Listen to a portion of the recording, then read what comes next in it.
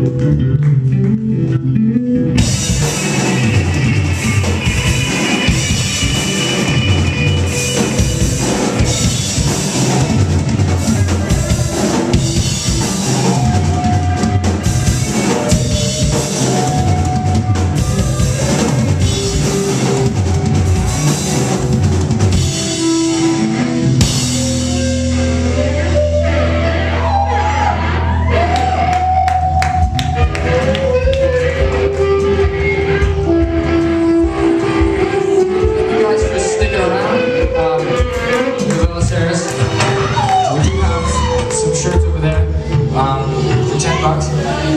If you want, we have free stickers, so just